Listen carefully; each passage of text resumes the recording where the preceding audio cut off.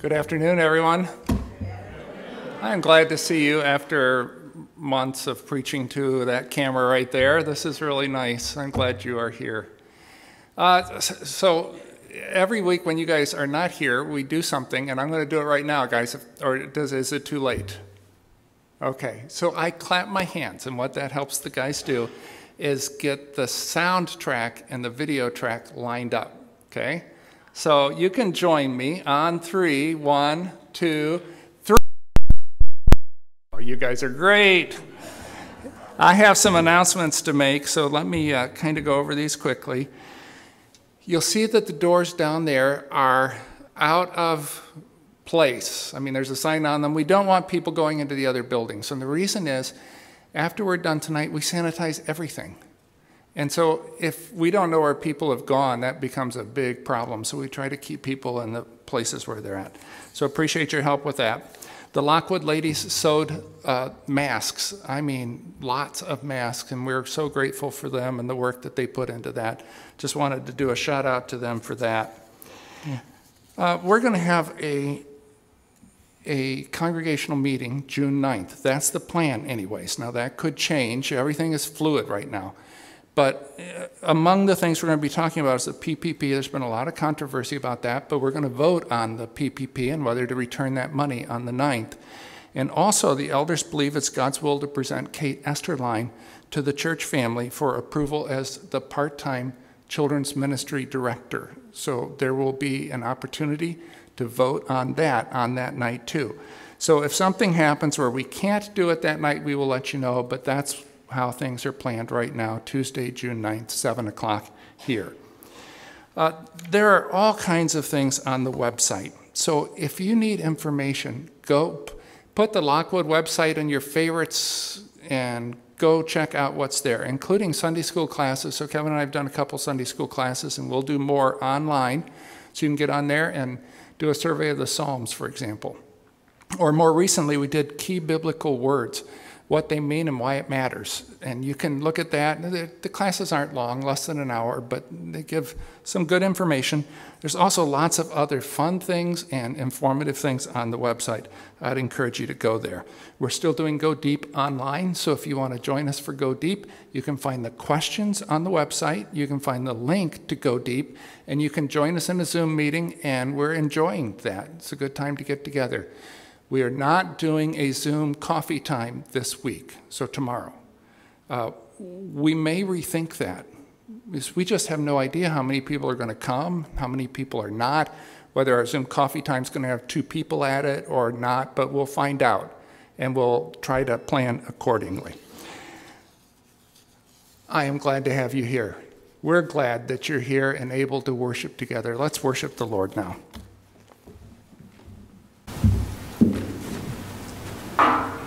I plan on reading this by myself, but I'd like you to read it with me because it'd be nice to hear you all read with me. Call to worship. The virgin will conceive and give birth to a son, and they will call him Emmanuel, which means God with us. The name of the Lord is a strong tower. The righteous run to it and are safe. Adonai, my great Lord, El Shaddai, the all-sufficient one. Jehovah Rapha, the Lord who heals. Jehovah Jireh, the Lord who provides. Those are the names of the Lord. We're going to sing, Blessed be the name of the Lord.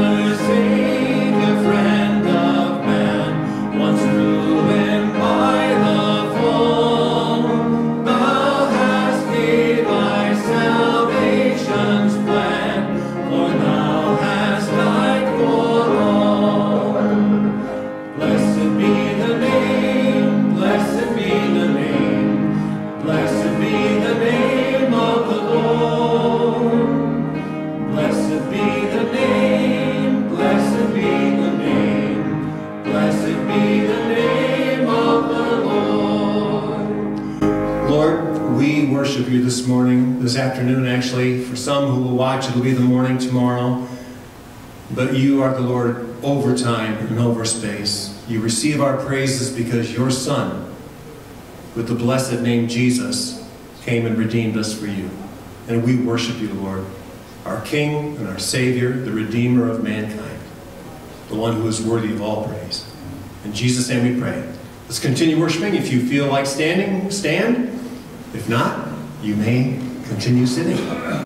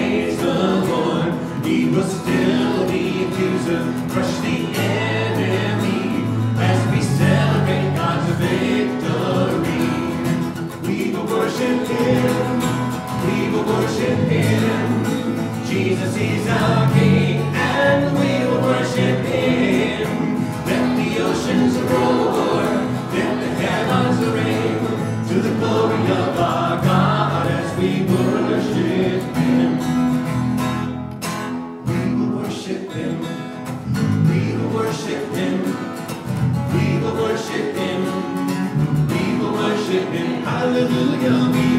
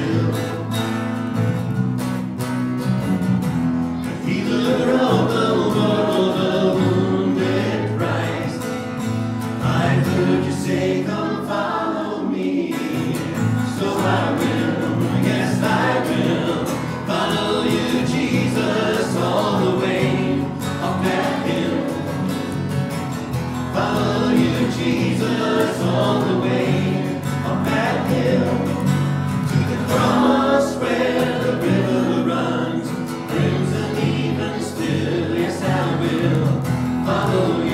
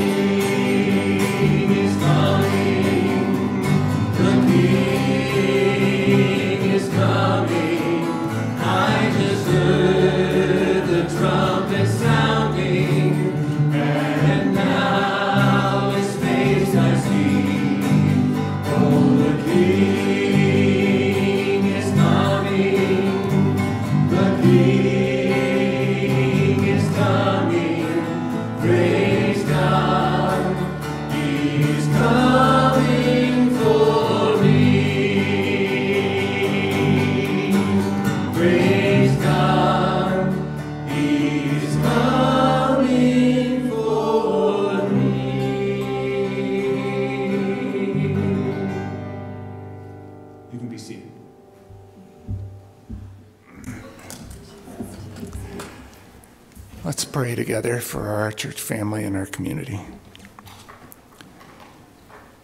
Heavenly Father, we thank you for this day when we can be back together, see each other's faces. Lord, I pray that while we're here, we'll not only have the joy of seeing each other, but the blessing of hearing from you. Would you speak to us today? Lord, you know better than we do that your people are going through a hard time. And I pray that you will encourage and instruct and help us. Lord, our nation is going through a difficult time, and people are unemployed and worried. I pray that the gospel of our Lord Jesus Christ, the good news of the love of God and the love of his people, will ring out during this time.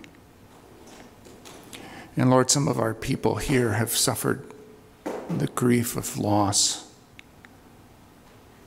And we pray that you will comfort and encourage, that you'll use your people to bear up those who are burdened. Show us how we can do this. Use us for good and for your glory in the name of Jesus. Amen. Let's look at Hebrews chapter 12. Hebrews chapter 12, we'll be looking through the chapter, but um, in a few moments I'll read for you verses 4 through 11. Years ago, a farmer told me that he doesn't like to get too much rain in the weeks right after planting because the corn won't need to send its roots deep to get nourishment. So if there's enough moisture near the surface, the plants will root near the surface. And then later, when the hot days of, of July and August come, and dry out the ground. There won't be enough moisture for the plants to flourish, and the yield will be down. We're like that too. It may seem counterintuitive, but no one flourishes without a fight. That is true both of families and of individuals. Flourishing doesn't happen in the absence of sustained effort, it happens because of it. If people go through it well. Individuals and families that don't go through it well, don't endure hardship in healthy ways, don't flourish. And they may look good from the outside, like a nine foot cornstalk looks good, but like that cornstalk, they won't be bringing good into God's world.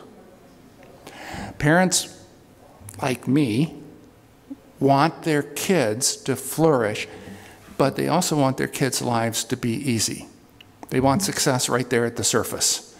They, when their kids are younger, they want their kids to have sports triumphs, academic honors, scores of friends. But if life is always easy, those kids won't root deeply. And the time will come when they don't flourish. But when is life easy? Either for adults or for kids financial uncertainty, sickness, loneliness. Sounds like COVID 19, doesn't it? But there needn't be a pandemic to experience hardship. Long ago, the author of Hebrews wrote this brilliant letter to help people who were going through a very difficult time. They were harassed, they were mocked, they were refused jobs. Some of them had their property confiscated and were put in prison the book of Hebrews urges readers not to give up, explains why they shouldn't give up, and tells them how to avoid giving up. The letter reaches its climax in the chapter we're looking at today. Chapter 12 is the climax of this letter. And we're going to look at it again next week. Today we'll discover five things we need to know in difficult times. Next week we'll look at four things we need to do in difficult times, and three things we need at all costs not to do. So let me read our section for us Hebrews chapter 12. I'm going to read verses 4 through 11. In your struggle against sin, you have not yet resisted to the point of shedding your blood, or literally unto blood. And if you're part of Go Deep, if you come on, to Go Deep uh, on Wednesday night, we're going to talk about that verse. And you have forgotten the word of encouragement that addresses you as sons. This is from the Proverbs. My son, do not make light of the Lord's discipline, and do not lose heart when he rebukes you, because the Lord disciplines those he loves. And he punishes everyone he accepts as a son. Endure hardship as discipline. God is treating you as sons. For what son isn't disciplined by his father? If you are not disciplined, and everyone undergoes discipline, then you're illegitimate children and not true sons. Moreover, we have all had human fathers who disciplined us, and we respected them for it. How much more should we submit to the Father of our spirits and live? Our fathers disciplined us for a while as they thought best, but God disciplines us for our good, that we may share in His holiness. No discipline seems pleasant at the time, but painful. Later on, however, it produces a harvest of righteousness and peace for those who are trained by it. In the verse immediately preceding the ones that I just read, the author puts into words the very real dangers his readers were facing, which we also face. The danger that we might grow weary and lose heart. A literal translation of the Greek phrase might go, lest you weary your souls and come loose. Think about how often we have heard of some pastor or church leader who's been caught up in scandal. Many of these people are, to all appearances, genuine followers of Jesus who've been a real blessing to his church and to the world. So, what happened? How did they get caught up in sexual sins and gambling addictions and episodes of rage? I'm sure there are lots of reasons, but one I think is that they are soul weary and lack the strength to resist temptation. The word translated weary here is frequently used in the scriptures of someone who is sick. So when St. James writes to the believers and says, is any sick among you? Let him call the elders of the church to pray over him. That's the word he uses. The word sick is the same one translated weary in this verse. Whenever we're going through prolonged difficulty, we are at risk of contracting soul sickness. The Greek word the NIV translates as lose heart means something like come loose or come untied. It pictures a person who is coming apart at the seams. What keeps the seams from unraveling is a person's soul. The soul integrates thoughts, feelings, will, and body into one person. But if the soul gets sick, the integration begins to fail. The body won't carry out the heart's decisions. And the heart's decisions are made over the mind's objections. When the mind and heart and body are out of sync, life starts falling apart. Soul sickness is always a possibility, but it is especially so in times of prolonged hardship, like right now. Our author wants his readers to understand the dynamics of prolonged hardship and the dangers that come with it. So he lays out some things that people need to know to successfully navigate through hard times. We'll look at those things in Hebrews 12, and then we'll add one from St. Paul's letter to the Corinthians. It will help you whenever you encounter hardship, whether it's sudden trial or prolonged difficulty, to know the five truths we're about to look at. But knowing them in the abstract will not be enough. You actually need to remember them and think about how they apply Otherwise, you will be less likely to do the things that will help you endure, and you will be more likely to do the things that will cause you to come apart at the seams.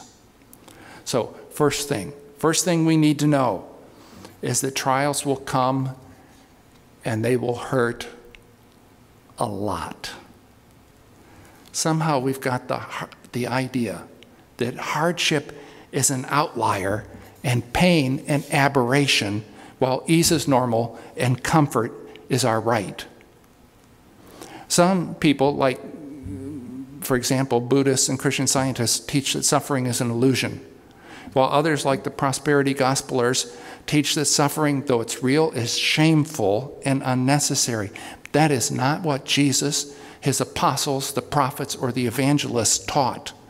St. Peter, for example, wrote, Do not be surprised at the painful trial you are suffering as though something strange were happening to you. Suffering is not strange, it's normal. When his friends in Thessalonica were going through a very difficult time, St. Paul sent his surrogate, Timothy, so that, and I'll quote, no one would be unsettled by these trials. And then he added, You know quite well we were destined for them. Among the sure promises of Jesus is the one we don't like. In this world, you will have trouble. And he said similar things time and again. Suffering is woven into the fabric of a world that is out of sync with its creator. Few years ago, the staff at Bridger Wilderness Area in Wyoming posted some of the comment cards that they receive during the year. Let me read you a few. Trails need to be reconstructed. Please avoid building trails that go uphill. Bridger's right in the middle of the Teton Mountains. Too many bugs and spider webs. Please spray the wilderness. Escalators would help on steep uphill sections. Too many rocks in the mountains. the coyotes made too much noise last night. Please eradicate these animals. And, and finally, a McDonald's would be nice at the trailhead.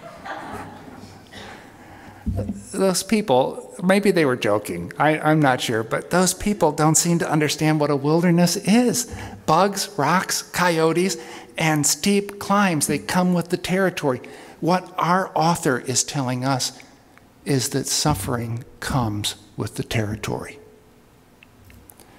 And people are not exempt just because they belong to Jesus Christ. Trials will come and they will hurt a lot.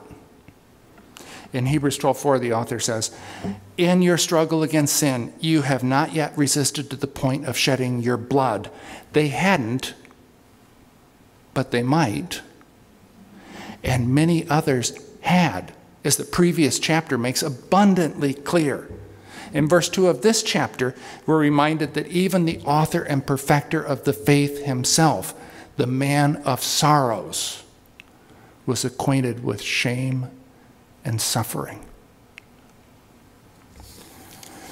Don't think that pain was unavoidable back then, but we've moved beyond that now. In our day, people around the world are suffering hardship just like they did when this letter was written. Uh, and you don't need a pandemic for that either. Last December, the British Foreign Secretary reported that in parts of the world, the persecution of Christians is at near genocide, his words, near genocide levels. No one said this is a picnic. Life is hard and it always has been. Isaac Watts, who was the Chris Tomlin, Matt Redman of his day, a guy who wrote something like 750 hymns, hundreds of which are still sung today, hundreds of years later, was born into a time of political turmoil.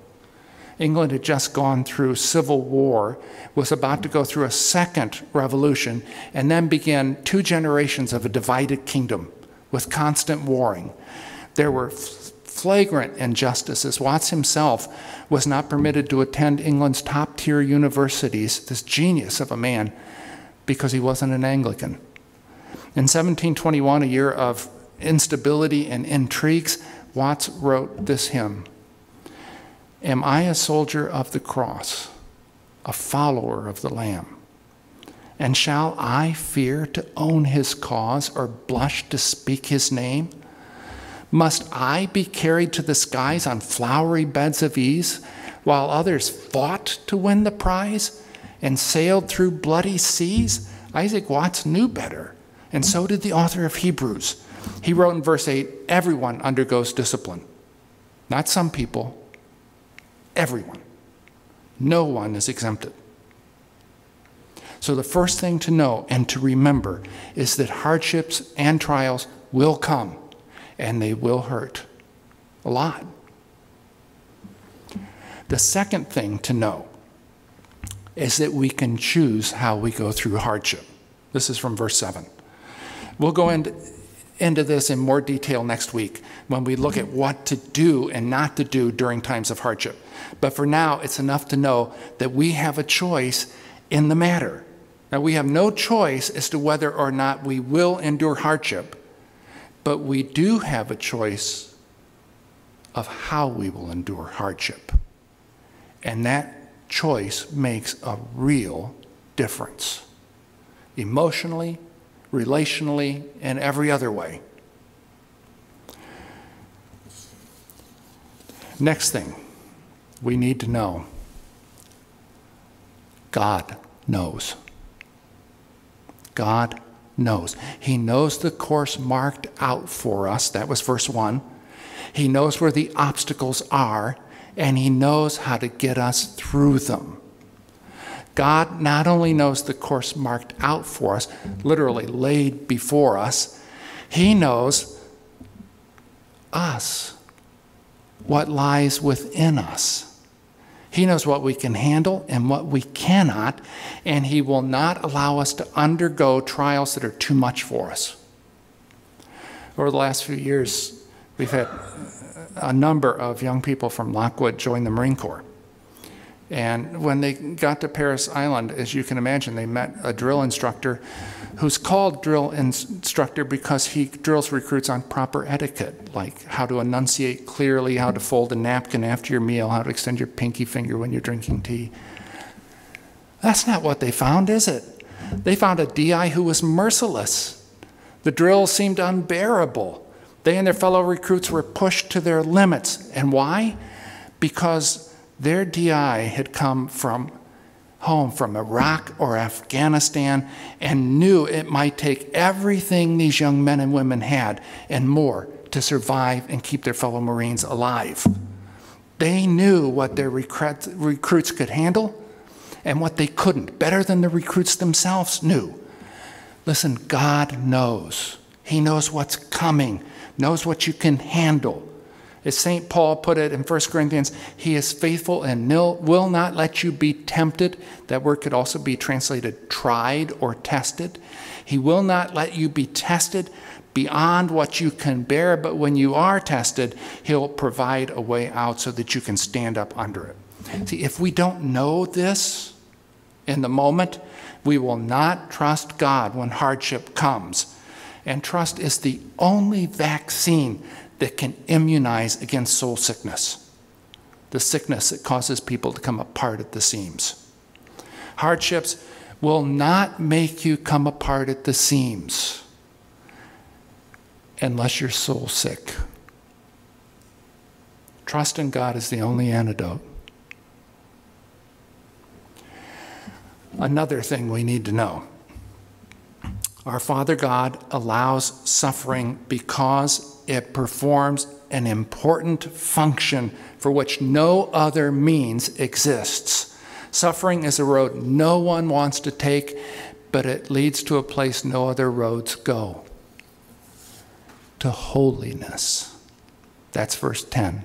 God disciplines us that we may share in his holiness. If you say, I don't care about holiness, I'm no monk, I'm not a priest, I just want to be happy, then you don't understand holiness. Holiness is the state where joy and peace are located. Holiness is like clean air after smog, it's like light after dark. God wants us to share in His holiness, in part at least, because our happiness depends on it. Without holiness, verse 14 says, no one will see the Lord. Holiness is the state of healthiness and flourishing. Holiness is so important that God will use insecurity, grief, and pain to produce it in us. Now, it's not that He inflicts such things on us, He's not like that. But when such things come, He will not hesitate to use them for our great and lasting good. The only question is whether we'll use them for our good. A fifth thing, which is itself a summary of all the others. This is found in verse 10 as well. Our fathers disciplined us for a little while as they thought best, but God, our Father in heaven, disciplines us for our good. Included among the goods produced by God's discipline are the priceless treasures of verse 11 a harvest of righteousness. So, right relationships with God and with each other. What a beautiful thing that is. And the blessing of peace.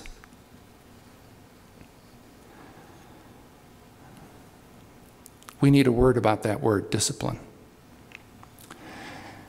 When I was growing up, discipline meant one thing punishment, meant the belt. I got, and occasionally the razor strop because my dad was a barber. When I got disciplined, it was because of something selfish or malicious or willfully disobedient that I had done. Discipline was to be avoided by any means uh, evading, hiding, lying. The word translated discipline in this passage doesn't mean that. It's, not, it's, it's training, not whipping. This is a word that would be used of training a child to tie his shoes or a young man to tie a tie. It's a word that would fit spring training in baseball or a training regimen at the gym. Training always has a purpose. People who undergo it and make use of it can do more after they have been trained than they could do before. Training helps us achieve what trying, however earnest, however strenuous, cannot do. Training is important in every one of our lives. Please don't forget this. Our good is never out of God's mind. Never. But we will think it is when we go through hard times if we think our good is just our ease or the preservation of our routine or our so called possessions. We're like a tourist at, at, at, Bridger, I mentioned earlier, for whom a cell signal is the only good he cares about because he wants to finish a game of Fortnite with his friends. And so he misses the awe inspiring Grand Tetons and the turquoise lakes and the singing streams. He misses the moose and the grizzly. He thinks his good depends entirely on a connection to a cellular network. And you know what? We're not so different. We think our good depends entirely on keeping a connection to our money, our health, our reputation. See, we so lack imagination. The good we can envision and to which we are committed, I mean, with, with a grasp that cannot let go, is a child's trinket compared to the awful good, the glorious good, the thrilling good God has planned for us. The promises of the Bible regarding us are breathtaking. The earth we live in will be transformed, a metamorphosis, an eco resurrection. No more decay, no more death, no more second law of thermodynamics. The most out there science fiction movie you've ever seen or book you've ever read doesn't even come close to the biblical promises. We will be changed. Fear will be gone. Can you imagine? I think for almost all of us, we won't even realize it until it happens. It will be like lifting a 500 pound weight off of us. We will be immortals, glorious, shining like the sun in the kingdom of our Father. See, I think the work of subduing and ruling earth was just a training exercise for subduing and ruling the universe in love. We failed here, but God hasn't given up on us. I appreciate Dallas Willard's shorthand for what awaits us. We will belong, and what a beautiful word that is. Belong. We will belong to, and here's Willard, a community of unspeakable unspeakably magnificent personal beings of boundless love, knowledge, and power. That is, we will share in the joyful life beyond all imagination of the Trinity itself. Now, two notes, and then we're done. One, this is only possible because of the love of God and the sacrifice of Christ. We didn't make this happen and we can't earn it. It is all grace. And two, we must not give in or give up on so great a future because of current hardship, whatever that hardship is. Now, how to avoid giving up is the subject of next week's message from Hebrews chapter 12. I'd encourage you to read the chapter asking the Spirit of God to show you things in it before we get together. All right, let's pray now.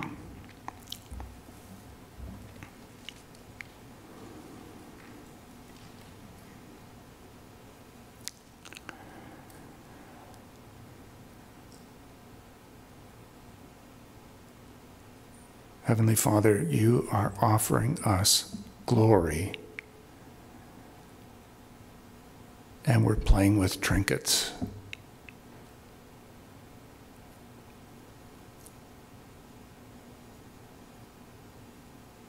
Lord, would you open our eyes, illuminate our hearts, that we might see the glories of your calling and the riches of your inheritance in your people. Lord, we'll not see this on our own. We will not see it in the midst of our troubles without your help. So help us. In the name and for the sake of your Son, who is our Lord, Jesus. Amen.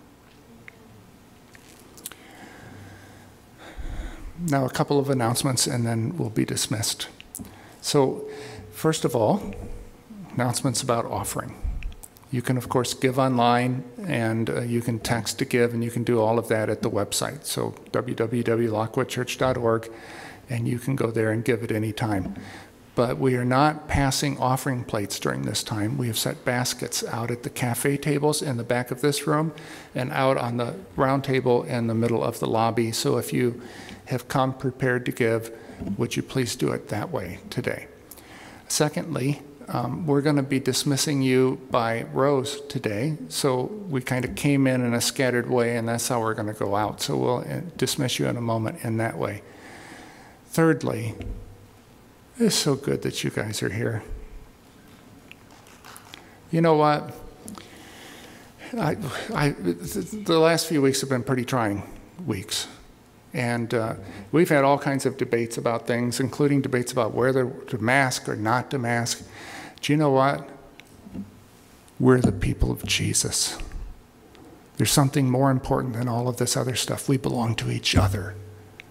And by the grace of God and the love of Jesus, we belong to God.